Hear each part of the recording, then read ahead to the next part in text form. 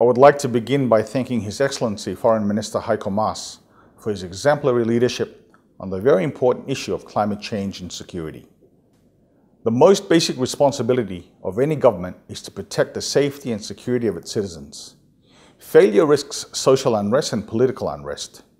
It is now uncontroversial that climate change will make it more difficult to fulfill this basic responsibility by undermining food and water systems, increasing competition over diminishing natural resources, disrupting global supply chains, and displacing communities, just to name a few.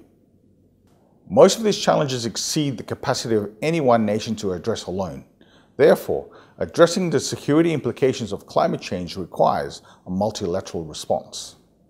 The Pacific Small Island Developing States have proposed six concrete functions for the United Nations on climate and security. 1. Integrated country and regional risk assessments.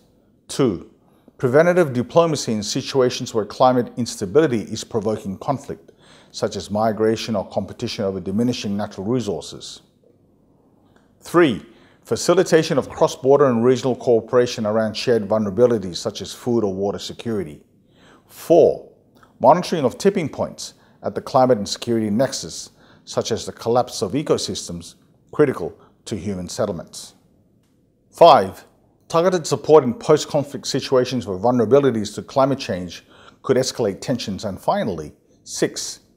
Thematic work on essential human systems vulnerable to climate change, such as food production and distribution, freshwater access, internal and cross-border migration, land use and tenure, disaster response and displacement, industrial production and distribution, and international finance.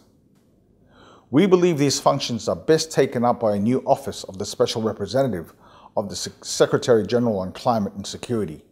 However, we will only succeed in protecting the security of vulnerable countries and communities if our political system shows the courage to make the fundamental changes that the climate crisis requires. Thank you.